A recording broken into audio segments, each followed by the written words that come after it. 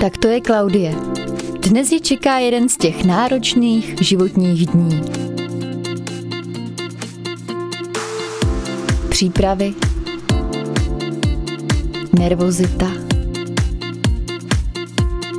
napětí, výkon,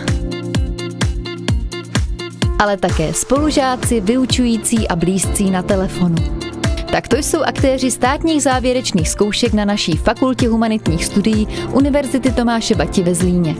Dnes se podíváme s Klaudií, jak to vypadá u státnic z oboru anglický jazyk pro manažerskou praxi. Státní závěrečné zkoušky na našem oboru anglický jazyk pro manažerskou praxi se skládají ze dvou částí.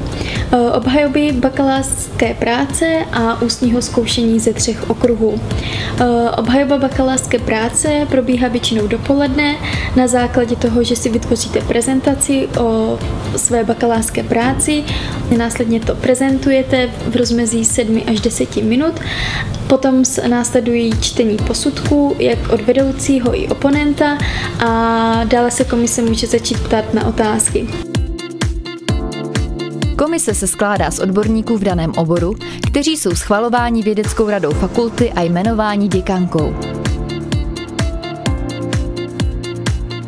Po skončení obhajoby máme my studenti e, trochu času, jelikož trvá, než se všichni vystřídají. Následuje ústní zkoušení ze třech okruhů. Pro náš obor to jsou okruhy z lingvistiky, literatury a britských amerických reálí a z okruhu ekonomiky a managementu. Co se týče okruhu lingvistiky a literatury s reáliemi, zde, je 20 otázek a v okruhu ekonomiky a managementu 25 otázek. Různé obory si řeší výběr otázek po svém. V našem případě si Klaudie vylosovala z krabiček podle barvy čísla otázek, vyhledala si, jaké jsou tedy ty její a měla pět minut na přípravu. Na místo dorazila již o půl osmé. Dopoledne proběhly prezentace, po obědě ústní zkoušení a slavnostní vyhlášení výsledků bylo později odpoledne. A pak už se jen slavilo. Nebo ne?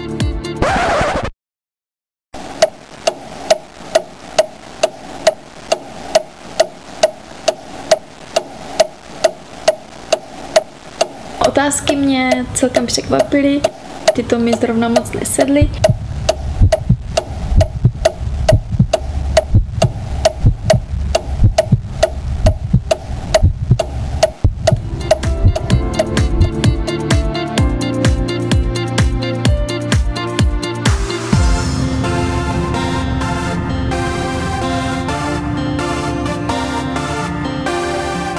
Dopadlo to úplně překvapivě dobře, mám to a jsem úplně šťastná a je to nepopsatelný pocit. Učení se vyplatilo, měsíc těžkého učení, nervů, nedostatku spánku, je to doma, si bakalář.